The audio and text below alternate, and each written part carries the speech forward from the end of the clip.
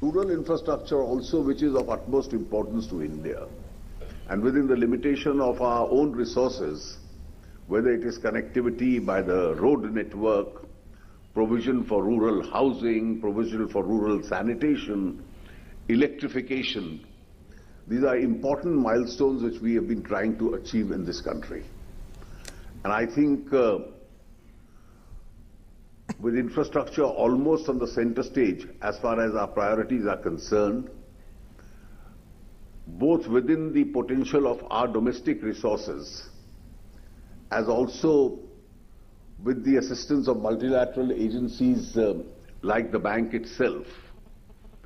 I'm quite certain that uh, it's a distance which we will be able to effectively cover.